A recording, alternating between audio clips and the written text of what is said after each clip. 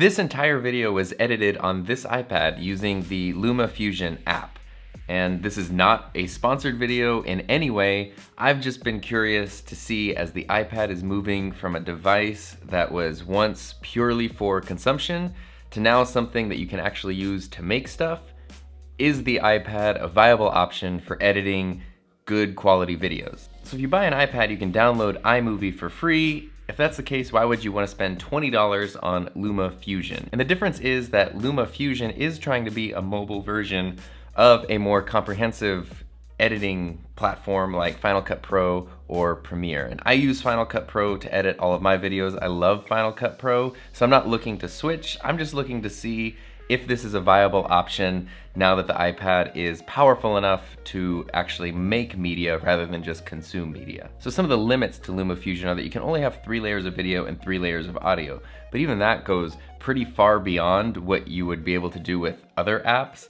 And truth be told, editing on a tablet still has its constraints just because no matter what, you're still editing on a tablet. And three layers of video, three layers of audio is probably pretty good for any of the projects you're realistically gonna do on an iPad. For huge, massive projects, you're still gonna need a desktop editor, but for you know simple YouTube videos, maybe a vlog or a tutorial or just like a family movie or just a personal project, this is really feature rich. Some of the stuff it can do I'm really impressed by.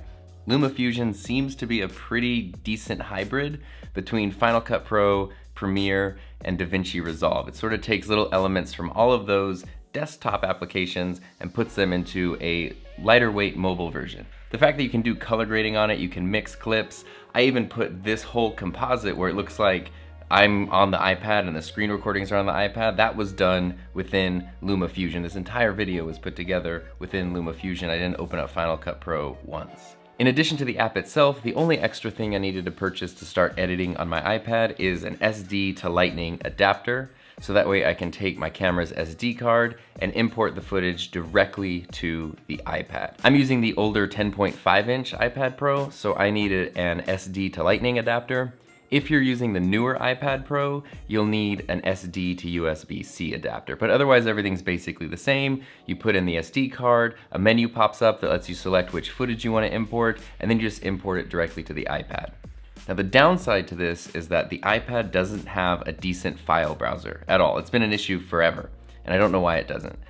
But that means that all the footage just goes into your Photos app on the iPad, and you could put it into albums and you could kind of try to organize it, but really, it's gonna start getting pretty messy if you're editing a lot of videos on the iPad. And this isn't an issue with LumaFusion, this is an issue with iOS on the iPad. So what I would recommend is to input your footage for each video to the iPad, edit it in LumaFusion, and then when you're done, delete the raw footage from your iPad, but be sure to save it on an external hard drive or another computer. If you've used any editing software in the past, LumaFusion should be pretty simple to learn. It's fairly intuitive and I found that the few things I didn't understand how to do right away were pretty easy to figure out if I kind of just poked around in the app a little bit or did a very quick Google search. But for the most part, it, it works really well and it's really intuitive and it's been working great on my iPad, which is a little bit older, so if you have the newer iPads, it should work even better on those. The big test for me was to see if I could use the iPad to edit a video in LumaFusion that nobody would guess was edited on an iPad because it just looked like a normal video that you would expect from my channel. And I gotta say, I'm really impressed with the results. There's still a learning curve. It's definitely not as feature rich as Final Cut Pro or Premiere or some of the other programs, but it's a really solid, by far the most solid mobile editing app that I've seen. And even if you're not planning to use LumaFusion to edit like entire videos, you can still use it to edit parts of videos. And I think that's really where it's gonna be the most useful. If you're on a trip somewhere or you just have your iPad with you, you can quickly edit a sequence, chop down some footage, and then share that into your regular editing software and put it into a bigger final video. But I think that it can really improve your overall workflow, especially when it comes to travel, all that time spent on planes or buses or cars or whatever, you can actually get a lot of stuff done. So in order to test out LumaFusion, instead of just editing this video right here where I'm talking about it, I wanted to import some other footage to play around with. So I have a mix of footage from the GoPro Hero 7 Black and the Canon 6D Mark II. The Hero 7 Black was filming at 2.7K and the 6D Mark II was filming at 1080p. I also think I have a couple shots just from my iPhone 8 Plus that were in 4K. So kind of mixing a few different resolutions from different sources. I want to see how the software can handle that footage.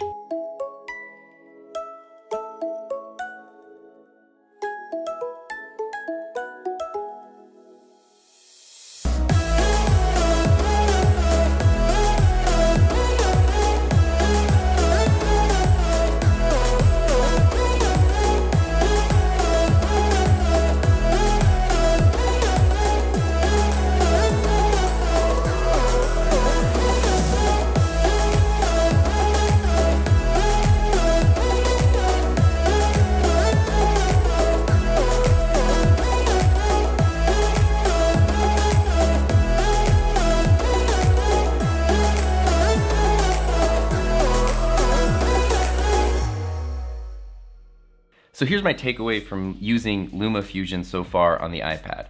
The biggest thing is if you're somebody who only has an iPad to edit on, this is really usable software. You can create excellent quality videos. The app keeps getting updated and keeps getting more feature rich. So if all you have is an iPad, this is a really viable option to start making really good videos. You can even just use your phone, the iPad, and then you're creating great looking stuff. If you're not somebody who's looking to edit all of your videos on the iPad, I still think that if you have an iPad Pro, it's absolutely worth the $20 to get LumaFusion installed on it. It's a one-time fee, there's no in-app purchases, and even if you don't plan on doing a ton of video editing on your iPad, just knowing that it's there, you never know when you're gonna find yourself in a situation where it would be really helpful to be able to edit a video really quickly or put something together.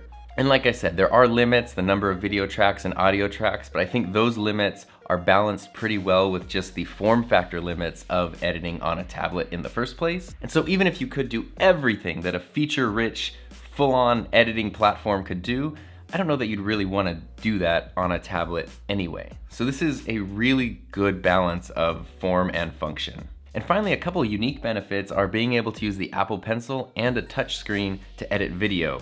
I've never done that before and the Apple Pencil is so precise and fun to edit with and change settings.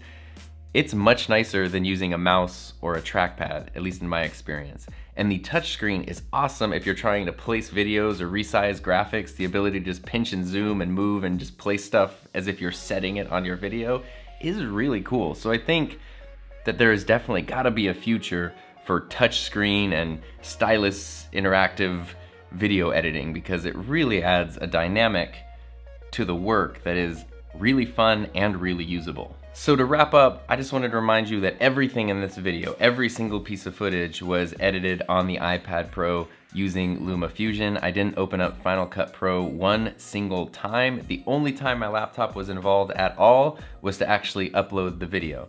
And actually, to even take it a step further, I'm going to use Lightroom on the iPad to edit my thumbnail image. So all of the visuals for this entire video will be created on an iPad, which is just crazy that you're able to do that. And even though it's not perfect, sometimes we kind of need to step back and just appreciate the insane stuff that we're able to do in the world that we live in. And that's really my biggest takeaway from using this app on the iPad. So I hope that was helpful. I hope that was interesting. And I guess I'll see you guys next time.